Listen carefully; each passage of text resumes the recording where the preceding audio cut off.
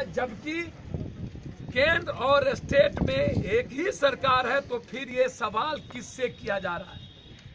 ये मेरा सबसे बड़ा सवाल है। और जब बंटवारा हो रहा था तो पप्पू यादव अडवाणी जी के हाथ से बिल छीन रहे थे।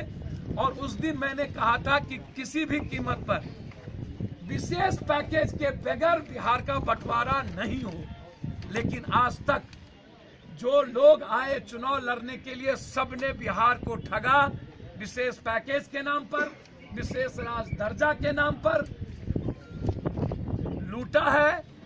हम लोग तय किए हैं कि 5 जून जो संपूर्ण क्रांति का दिन है, उस दिन पूरे बिहार में विशेष राज के दर्जा, एजुकेशन और हेल्थ इस को विशेष पैकेज, इंफ्रास्ट्रक्चर को विशेष पैकेज के साथ नफरत की राजनीति को खत्म करने के लिए 5 जून को हम बिहार में प्रखंड मुख्यालय पर, जिला मुख्यालय पर धरना देंगे।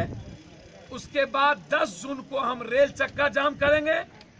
25 जून को जिस दिन आपातकाल घोषित किया गया था, उस दिन हम बिहार बंद करेंगे। विशेष राज के दर्जा के साथ एजुकेशन और हेल्थ के लिए विशेष पैकेज के सवाल पर। यह निर्णय पार्टी की कोर कमेटी और छात्र इकाई की कमेटी के बाद आज लिया गया और जिन लोगों ने बिहार के गुनागार है, उसको पर्दाफाश करने के लिए हम लोग नुक्कड़ सभा एक सप्ताह के बाद हम शुरू करेंगे।